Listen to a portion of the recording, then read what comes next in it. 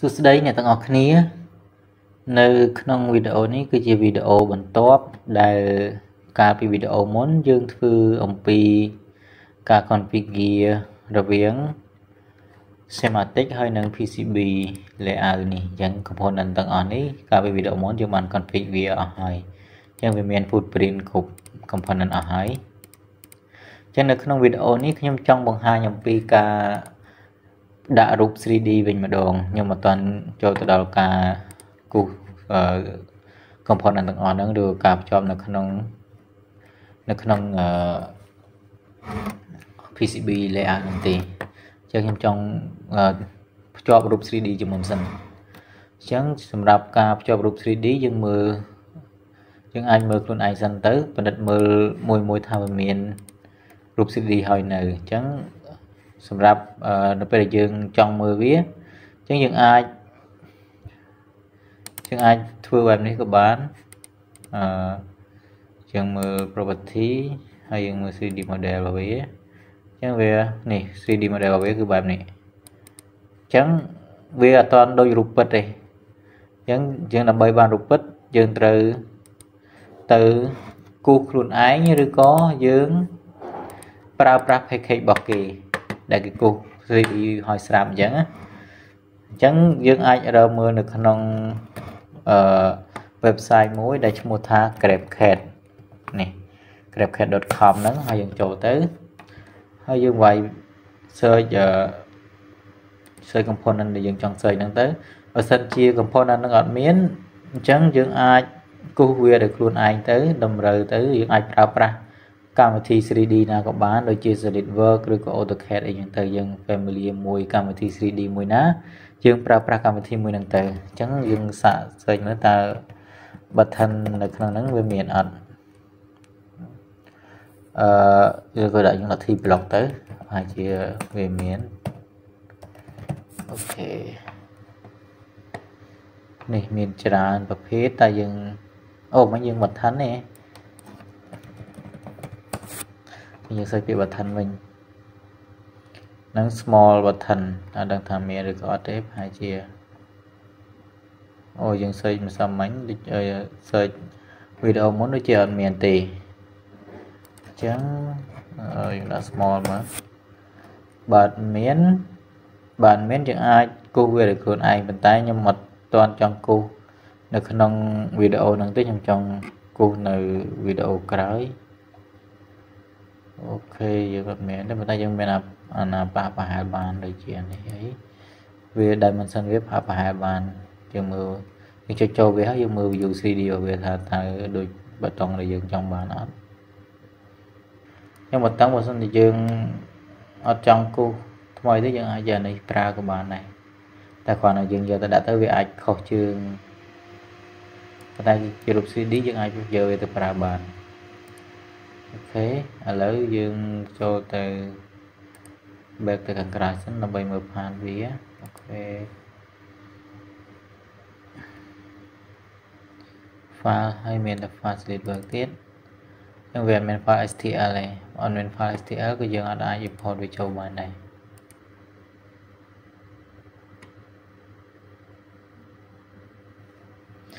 ចឹងអ្នកទាំងអស់គ្នានៅពេលដែលយើងចូលទៅក្នុង ចូលមកក្នុងកន្លែង T block ដែលយើងចង់យកហើយរបស់យើងគឺយកពី pole អញ្ចឹងយើងអាចធ្វើការ download ជា step file យើងរបបទៅលើ file នេះទៅហើយមានកន្លែង step file នេះយើងចូលកន្លែង step ហ្នឹងទៅយើងមើលមានមាន file ឯខ្លះដែលយើងអាច download បានមានតែអានេះមានតែ command P យើងចូលទៅមួយទៀតអញ្ចឹងគេនឹងឲ្យរើសហើយគឺមានច្រើនអញ្ចឹងណាយើងមើលបើយើងនេះ step file គឺគេដាក់កន្លែងនេះ មាន record dot step ហ្នឹងហ្នឹងគឺ step file ហើយ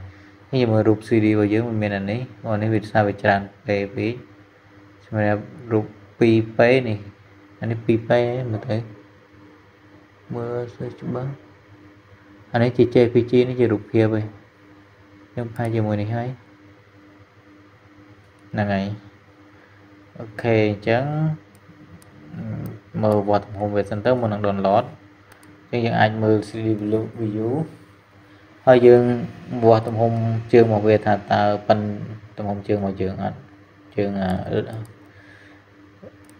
ប៉ិនទំហំជើងនៅក្នុង footprint របស់យើងអត់យើងយកកន្លែង measure នេះមកហើយយើងយកកន្លែងអាចថាយើងយក face ក៏បានឬក៏យក point ក៏បានដែរស្រ័យលើយើង ហើយយើងយក distance between face ចាអញ្ចឹងភាសានេះខ្ញុំយក face មួយនេះហើយនឹង face មួយនេះអញ្ចឹងរបស់វាគឺ9.50មីលីម៉ែត្រ9.50មីលីម៉ែត្រវាប្រហែលអ៊ីងដែរ0.3អ៊ីងអត់ឬក៏0.4អ៊ីងហើយយើងអត់ប្រកាសថាបើយើងប្រហែលដែរហើយយើងធ្វើការ download យកហ្មងទៅ នេះ download file ទៅយើងទៅកន្លែង download ទៅហើយយើងជ្រើសរើសឥឡូវខ្ញុំដាក់នៅក្នុងទីតាំងដែលខ្ញុំធ្លាប់ការវាដាក់ការវាមកហ្នឹងវាមាននេះខ្លះនេះ plotter នេះហើយកន្លែង step cd ឥឡូវទៅនេះគឺខ្ញុំដាក់អឺ t block 2p ចាអឺ t block 2p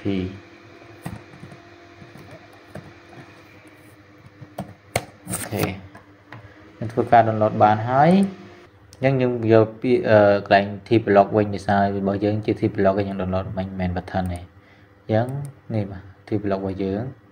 អញ្ចឹងយើងធ្វើការចុច mouse ស្ដាំហើយយើងយក make package កន្លែង make package បន្ទាប់មកយើងចូលកន្លែងនេះ 3D mechanical model នេះបន្ទាប់មកយើងយកកន្លែង mcat នេះហើយយើងចូលកន្លែងចុចកន្លែង folder នេះដើម្បីចូលកាន់ file ដែលយើងបាន download មិញហ្នឹងអញ្ចឹងទៅមើលទីតាំងរបស់យើងនៅណាយើងទៅធ្វើការធ្វើការចូលយកចូល select វាដែរនេះ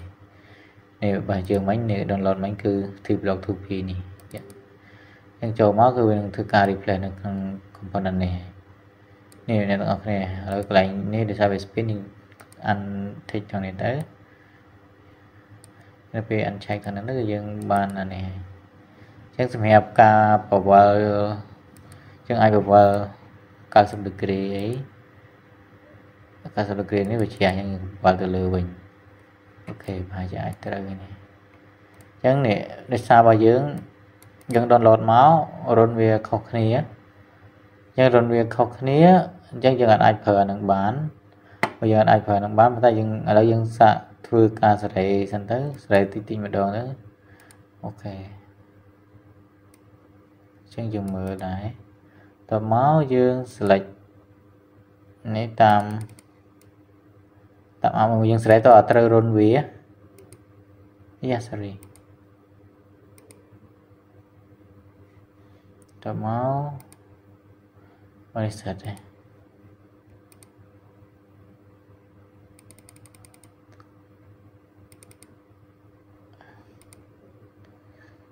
នេះនេះរិសារបស់យើងវាត្រូវរុនអញ្ចឹងយើងឧបមាថាយើងយកប៉ុណ្ណឹងសិនចាស់ព្រោះអីអឺវីដេអូក្រោយខ្ញុំនឹងធ្វើគូសធ្វើការគូសនៅក្នុង SolidWorks ឬក៏យើងអាចនេះអឺរុន T block នេះយើងអាចបង្កើតថ្មីហើយឲ្យវាធំជាងហ្នឹងយើងយកធំប៉ុណ្ណារុនអឺរបស់គេនេះចាក់ស្ដែងមកទៅក៏បានដែរអូខេឥឡូវខ្ញុំថាសាកយកប៉ុណ្ណឹងសិនទៅហើយខ្ញុំធ្វើការ replace មកអូខេមក update all អញ្ចឹងនៅពេលដែលខ្ញុំគូសនេះខ្ញុំយក T block នឹងមិញនឹងមកគូសកន្លែងណា J1 នេះនេះនឹងអញ្ចឹងនៅពេលដែលខ្ញុំយកមកគូសហើយនេះអ្នកទាំងអស់គ្នាកន្លែងនេះសម្រាប់នេះគឺយើងអាចកំណត់ board H បាននេះ board H ហ្នឹងមកថាយើងកំណត់ទំហំ board យើងប៉ុណ្ណាមកថាខ្ញុំកំណត់ទំហំប៉ុណ្នេះមកហើយយើងទាញខ្ញុំធ្វើការ view 3D ត្រង់នេះដើម្បីមើលថា board ហ្នឹងវាចេញមកមិននឹងរូបភាពជាក់ស្ដែងយើងមើលទៅនេះកញ្ញា នេះជាក់ស្ដែងមកវាគឺបែបហ្នឹងអញ្ចឹងណាហើយនៅត្រង់នេះទៀតឥឡូវមកឥឡូវយើងមើល component របស់យើង EC ហ៎យើង EC របស់យើងអានេះយើង EC ហ្នឹងយើងអាចធ្វើការខាងនេះយើងបរិយាបតអីរបស់យើងឲ្យធំតិចទៅ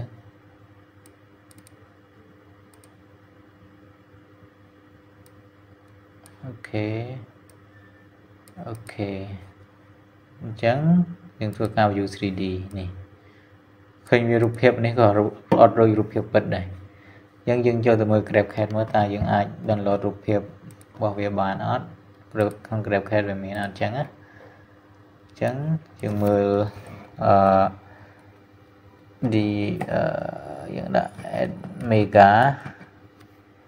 328មានអត់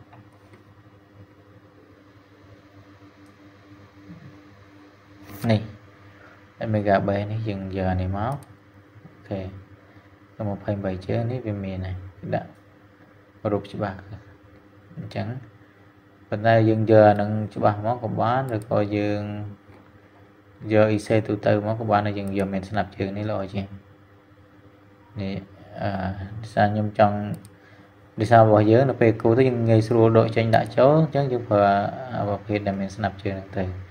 អញ្ចឹងនេះខ្ញុំ download file step នេះមកហើយធ្វើការ download file មកអូវ៉ាយឥឡូវខ្ញុំដាក់ដាក់28 pin IC អូខេតើមកយើងធ្វើការ download ហើយយើងធ្វើការ configure ជាមួយនឹង PC របស់យើងយើងចូលកន្លែងនេះកន្លែង package mode មកយើងយកកន្លែង PC របស់យើងមួយណា DIL 28នេះហ្នឹងហើយអញ្ចឹងយើងធ្វើអានេះមុននឹងយើងយើងអត់តន់ configure ជាមួយ 3D model អានេះអញ្ចឹងវាចេញរូប yeah sorry នេះយើងចុចទៅវាចេញរូបផ្សេងអញ្ចឹងចេញពណ៌ក្រហមអញ្ចឹងអញ្ចឹងយើង ចង់ឲ្យដូចរូបពិតយើងនេះនៅក្នុងនេះយើងចេញមកស្ដាប់ហើយយើង make package មកយើងយក 3D model យើងយកខាងនេះហើយចុចលើពាក្យ folder មកហើយយើងចូលទៅកាន់ folder របស់យើងដែល down ធ្វើការ download មិញហ្នឹងនេះ Python router អូខេត្រង់នេះហើយហ្នឹងនេះអញ្ចឹងมันខុសអីពីវីដេអូមុនអញ្ចឹងមិនខុសអីពីអា step ដែលយើងធ្វើសម្រាប់ទី blog ទេ អញ្ចឹងវានឹង reload មកហើយនេះខ្ញុំអត់អញ្ចឹងវាខុស90 degree អញ្ចឹងវាអាច90 degree អាចតាមអាវាយមិនមែនអាវាយទេអិចអិចប៉ុន្តែយើងអិចតាមនេះអូខេអូចេះតា90ញ៉ាត្រូវហើយហើយក្បាលរបស់វា ក្បាលវាទៅខាងនោះនេះនេះមើលឃើញប៉យរបស់វាក្បាលវាថងនេះអញ្ចឹងយើងបវល់តាមអាដូចជា asset ទេ100 90 180មកអូខេអញ្ចឹងយើងបវល់វាត្រូវជើងវាមក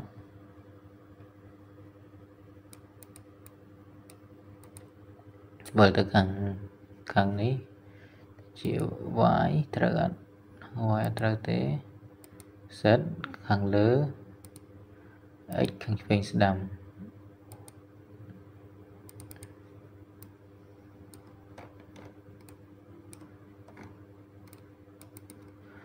ចឹងទៅមក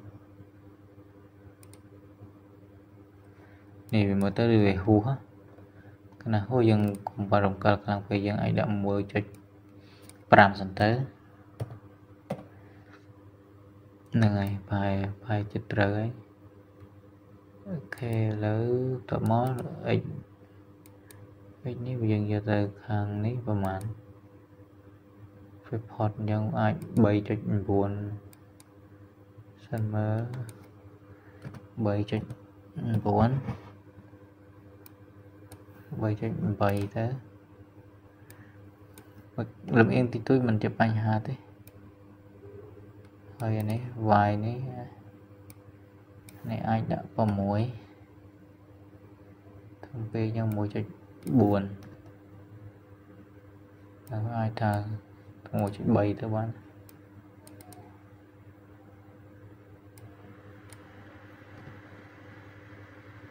OK ហើយយើងមើលទៅវ៉ាន់ហ្នឹងល្មមមក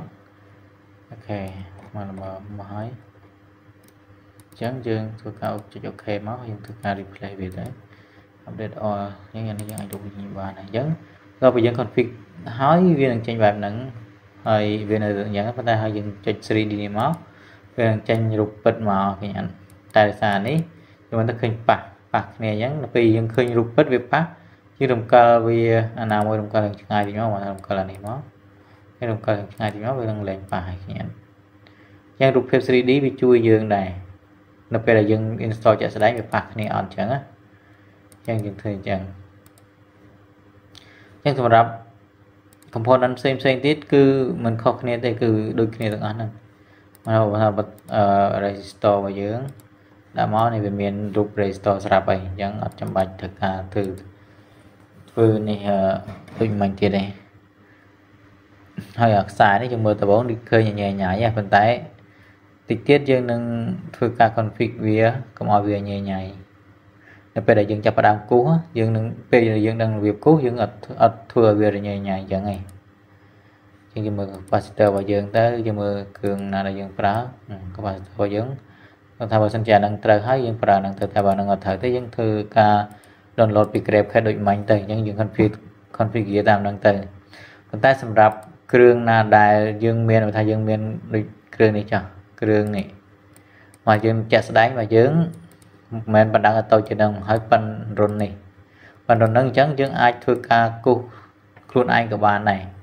គូសនៅក្នុងកម្មវិធី 3D ដូចខ្ញុំរំលឹកមុនអញ្ចឹងចាំមើលវីដេអូក្រោយខ្ញុំនឹងបង្ហាញពីការគូសហ្នឹងប៉ុន្តែបើសិនជាអ្នកទាំងអស់គ្នាធ្លាប់គូស 3D ស្រាប់នឹងអត់បញ្ហាប៉ុន្តែបើសិនជាអត់ធ្លាប់គូសហ្នឹងវីដេអូក្រោយទោះបីជាបរិញ្ញាក៏វត្តដែរព្រោះអីនៅតែការយើងមានជំនាញក្នុងការគូស អឺកម្មក្នុងកម្មវិធីណាមួយនឹងសិនអូខេឥឡូវក្នុងវីដេអូហ្នឹងខ្ញុំគិតថាប៉ុណ្ណឹងសិនហើយចាំវីដេអូក្រោយយើងនឹងខ្ញុំនឹងបង្ហាញពីការគូស SolidWorks បន្តិចបន្តួចហើយយើងនឹងធ្វើការគូសលើ board PCB អញ្ចឹងនឹងបន្ថែមទៀត